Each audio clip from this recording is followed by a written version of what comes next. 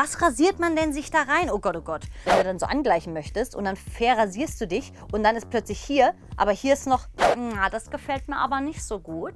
Der kann sich gleich verfatzen. Gibt es dann ein Image oder nicht? Wie mache ich das? Muss ich irgendwie entsprechen, ja oder nein? Du musst erstmal... Mein Name ist Ariane Alter. Ich mache Formate wie Gute Nacht, Alter oder Das schaffst du nie. Und über Telonym hat uns eine Frage erreicht. Und zwar, wenn man darüber spricht, dass Mädchen unten rasiert sind, wird gemeint, dass man keine Haare sieht oder dass so ein Zentimeter auch noch klar geht. Eine Frage, die mich damals sehr umgetrieben hat. Ich habe eine Lösung gefunden und hier kommt meine Rasurgeschichte. Also, um hier gleich mal was klarzustellen. Klar geht, Fragezeichen, ist schon mal der vollkommen falsche Ansatz. Als ich jung war und endlich in die Pubertät kam und endlich dann irgendwie meine Körperbehaarung sich auch unabhängig von meinem Gesicht und meinem Kopf entschieden hat, auszutreten, möchte ich sagen, ähm, kommt man da schon in Zweifeln, oh Gott, was mache ich jetzt damit? Und wenn ich dann Bikini anhabe, dann sieht man das vielleicht. Ich brauche einen Rasierer. Was für ein Rasierer? Ich bin ziemlich jung, ich hole das billigste Teil.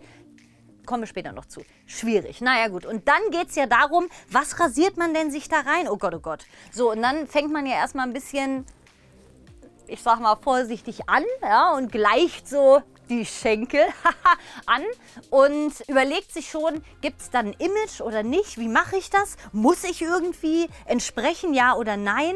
Du musst erstmal gar nichts. Wenn ein Haar in deinem Intimbereich durch einen Rasierer gekrümmt wird, dann bist du rasiert. So, das ist erstmal alles, was du wissen musst. Ob du dich rasieren möchtest oder nicht, ist auch mal so ein Ding. Und wenn du rasiert bist, heißt es nicht, Kahlschlag oder nicht, ein Zentimeter ist cool oder nicht. Alles, was du willst, ist cool. Ja? Und dann muss man so einen Intimbereich eher so wie so ein, so ein Kopf sehen, weißt du, wie so eine Frisur. Möchte ich Busch? So, möchte ich Kahlschlag? Möchte ich äh, Landebahn? Da gibt es ja so wahnsinnig witzige Sachen. Möchte ich da einen Buchstaben? Warum nicht mal kreativ werden? Kann man auch färben, by the way. Da kann man sich mal so richtig austoben, ja. Und alles, was du magst, ist cool.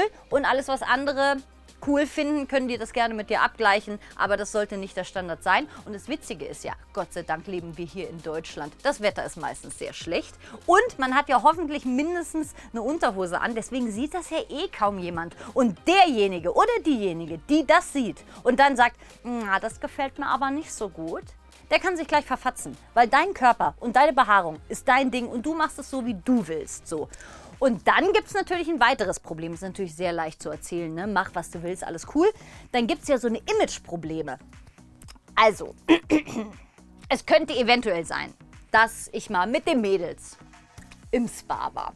Und als wir so nun zum Spa liefen, haut mich eine Freundin an. Meistens ist man ja sehr nackt da, ne? da muss man sich ja schon mal drauf einstellen. So, und dann haut mich so eine Freundin an und sagt, oh, Ariane, oh Mann, ich habe mich rasier verrasiert quasi. Ist ja auch problematisch, ne? Wenn du dann so angleichen möchtest und dann verrasierst du dich und dann ist plötzlich hier, aber hier ist noch, und dann musst du eigentlich angleichen und dann wird das irgendwie, und dann denkst du, ach komm, alles ab. Am Ende ist es, wie gesagt, nur eine Frisur, aber es ist alles nicht so einfach, ja, genau den, den Strich zu halten so. Auf jeden Fall hat sie sich verrasiert, auf jeden Fall jetzt Kahlschlag.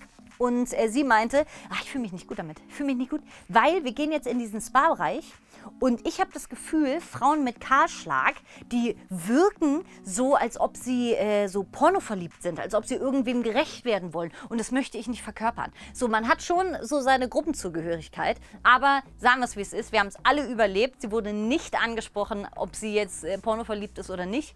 Ähm, und auch Frauen, die Busch tragen, sage ich mal, sind auch nicht per se Feministinnen und wollen allen Herren den Penis abschneiden. Also jeder macht einfach da unten, was er will am besten einen teureren, qualitativ besseren Schwingkopfrasierer kaufen und nicht die Billigdinger, weil dann kann das auch wehtun mm, und so ein bisschen irritiert sein. Ich meine, ja, da die Qualität rasiert mit, Leute. Das wäre mir noch wichtig auf diesem Weg zu sagen. Ja, und da gibt es ja noch die wunderschöne Mehr von der Hygiene. Weniger Haare, am besten gar keine Haare. Das macht dich einfach glatt, das macht dich einfach schön, das macht dich einfach gesund. Ne? Das riecht nicht. Ja? Das ist einfach auch hygienischer. Das stimmt alles tatsächlich nicht. Die Natur und die Evolution hat sich bei so Schambehaarung schon was gedacht. Ja?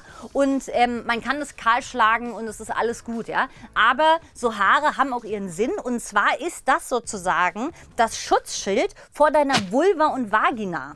Also das hält quasi Viren ab und Bakterien Bakterien und Pilze und, und, und. Und eigentlich ist es super praktisch, wenn man Schambehaarung hat für deine Vulva und Vagina, weil die dann weniger Struggle hat. Das riecht dann tatsächlich intensiver, wir reden hier von entweder gar nicht oder ein bisschen oder viel. Wir reden hier übrigens auch von Geruch und nicht Gestank. Ich möchte an die tolle Frau Gwyneth Paltrow erinnern, die eine Duftkerze hat, die nach ihrer Vagina riecht. Also ich sag mal so, das kann auch sehr, sehr gut sein. Nur, dass ihr wisst, Kahlschlag heißt nicht gesünder.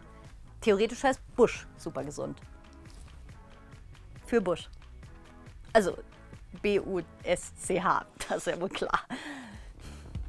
Wenn euch jetzt einiges klar geworden ist, außer wie man es jetzt nun macht, dann klickt mal hier für Männlein und Weiblein und hier auf Klo wird die Frage gestellt, intim, okay, alles gut, aber wie machen wir es mit den Beinen? Gar nicht oder nur bis zum Knie, oben oder unten nicht oder gar nicht oder doch alles?